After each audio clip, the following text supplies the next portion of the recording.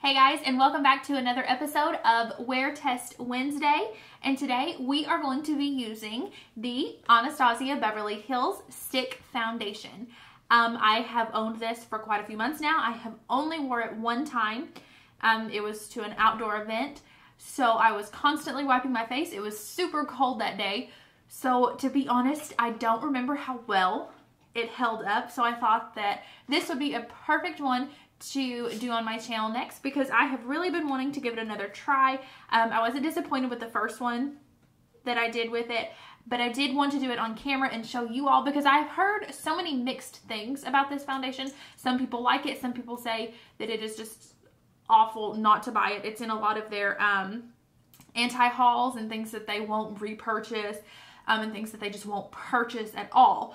So I really wanted to try it out on my channel with my dry skin and kind of see how it works when it's really put to the test because I remember the day that I wore it, I didn't wear a lot of makeup. I kept it pretty minimal because I knew I was going to be outdoors all day and I wanted something that was just very light on the skin. So I did choose that one this day. Um, or I did choose this one. Um, but this is what it looks like. This is the amount of product that you get inside of it. You get a decent amount. I think it was around $30. I could be wrong. I will pull up the price um, at the end of the wear test and we'll kind of see how much it was and if it was really worth it or not. But let's go ahead and let's jump on in. Okay, so off camera, I already did my eyebrows this morning and I did my eyes and I just put a little bit of shadow on and then just a little bit of mascara. I'm going to wait and do my bottom um, after the makeup is put on. But um, I wanted to do this off camera because Wear Test Wednesday is all about foundation, no other makeup. So I thought that I would just save the time, go ahead and do that, and then we could jump right in with the Anastasia Stick Foundation. So for my primer today, I am using the um, Farsali Rose Gold Elixir. I thought this one would be a good one to use with the stick foundation because I really like to use this with my Hourglass foundation. So I thought that it would be pretty compatible to use with this one as well. Um, ignore my face. I have a lot of breakouts and just rough areas going on. My skin is just doing something crazy. But I do plan on doing a couple of check-ins throughout the day. One at about 1 or 2 and then the other one I'll probably do about 7 p.m. when I'm ready to take it off. So far, I can go ahead and say that using the Farsali Elixir was a good choice with this. It did help it glide across the skin um, very nicely. And I'm just going to be using a sponge just to kind of buff this in and work it out.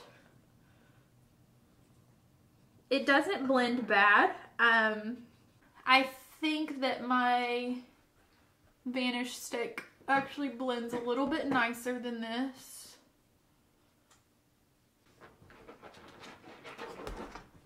I have a helper. what are you doing, baby? What are you doing? What are you doing? You just put makeup on me, mommy. Okay, okay. Oh, no, you gotta sit still. You sit. No, you gotta sit still. Oh, I'm gonna make it pretty. Isn't that beautiful already? Don't eat the sponge.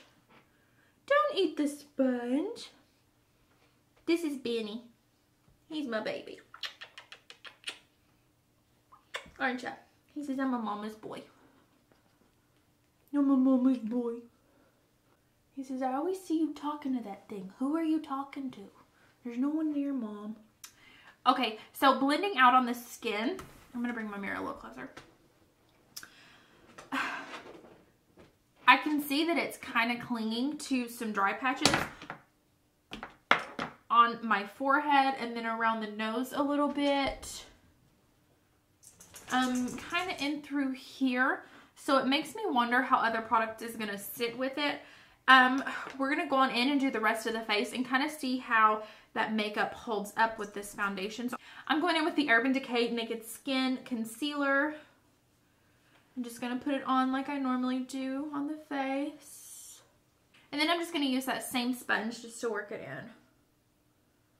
But yeah, it is really clinging to some dry patches. So I'm going to do a little bit of setting powder over the face to kind of work some of this out. Next, I'm going to use the Maybelline Fit Me in the 05 Fair. And I am just going to kind of set my face a little bit. Just kind of under the eye and the chin. And I'm not going to set my forehead today because it is looking pretty dry. Okay, so with some setting powder over top of it, it still doesn't look any better. Um, it still looks like it's sitting and resting on the skin and not soaking in. So far, I'm not feeling great about this foundation. I feel like it's going to just be a flop. I hope not, but like I said, the first day that I wore it, I did not wear a lot of other makeup with it and I didn't really care because I was doing an outdoor event that day and I knew I was going to be rubbing and touching on my face.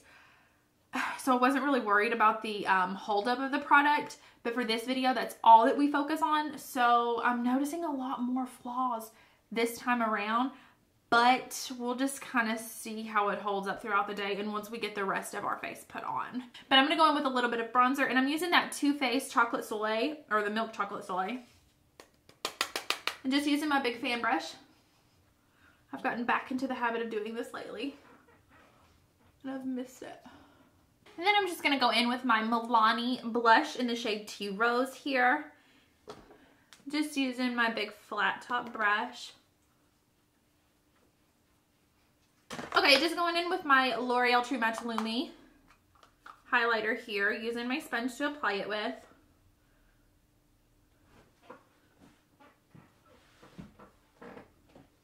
And I'm just going to set it with a little bit of MAC Fix Plus.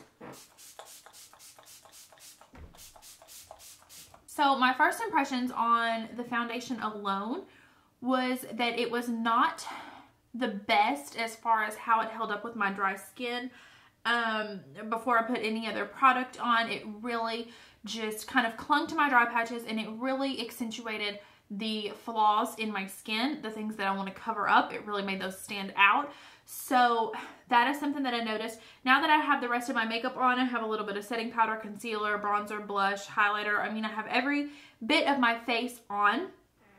Um, it looks, from a distance, it looks better. But around here, here, the nose, um, and then kind of in the forehead, it is definitely, definitely so easy to tell. Like if somebody was standing in front of me, they could see all these flaws in my skin.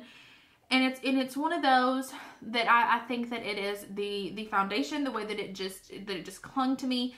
Um, the coverage was a very kind of light coverage, light to medium coverage. And that also may have something to do with it, but it may be one of those that throughout the day it kind of sets in a little bit better and looks a little bit nicer on the skin. Once some of my oils start breaking through, it might kind of tone and kind of settle everything down. Um, because it's not a very moisturizing or dewy foundation. So I'm almost thinking that once my oils start to break through that it might give it a little bit more of that glowing look. But right now I just feel especially in spots like I look so cakey. It does not have a natural finish on my skin whatsoever. Um, but to be honest, I'm not too, too impressed with it. Um, it didn't cover up my blemishes like I wanted it to. But other than that, I'm really not too impressed with it. Um, I'm going to hop off here, do some chores, and I'm going to come back in a few hours and give another check-in and kind of see where it stands there and if it's anything's changed or if it's still the same. So I will be right back. Okay, so I'm back with my first check-in. It is now 2.46 in the afternoon. So it's been about almost five hours, about four hours and 45 minutes, almost five hours since I put the makeup on. It's held up extremely well. I've honestly just been resting around the house doing chores today. I've not been putting it to the test or anything like that. So I'm not really complaining. It might be gone a little bit through here because I have had, been doing this a lot.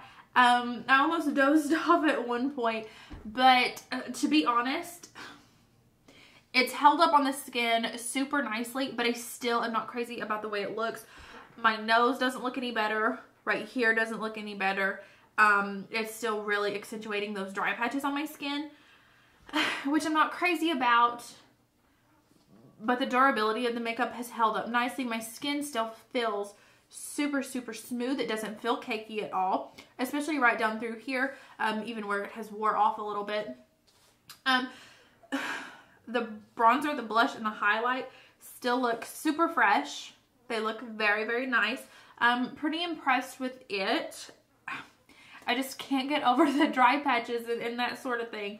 Um, that's the only downside so far. I don't like how it's clunked to my dry patches, but other than that, I don't really have anything to complain about. Um, and it could just be my skin right now. It could be that it is transitioning from winter to spring. The weather is crazy. It could just be my skin underneath, but I know that lately with other products, my skin has not had this issue.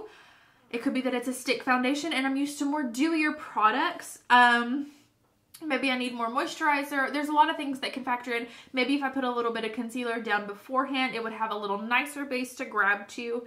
Maybe if I mix that primer with a different primer, maybe if I just did a different primer. There's so many what ifs when it comes to this. So I can't totally knock it out because of that, but overall, everything else has held up super nicely on the skin. Um, so I really don't have much to complain about other than this, this, and a little right here, um, which I could live with because I do wear glasses. So on a typical day, my glasses would be covering it up. I have not worn my glasses today because I didn't want any smudge marks or anything like that. I wanted to give it the full aspect of just the bare face to see how it wears. So yeah, we're going to wear it for a few more hours. I'll be back and we will give it the final wrap up as to what we think about this foundation. So I'll catch you on a little bit. Okay guys, it's now 722. This is my final check-in for the makeup and kind of my final thoughts about it. Um, overall, it wasn't terrible. Throughout the day, my skin seemed to dry out a little bit more. Um, and then just as the day went on, past that, it was like 3 o'clock and on, my skin just kept getting drier and drier and drier. This was an extremely long time to wear this makeup. Um, it wasn't quite 12 hours.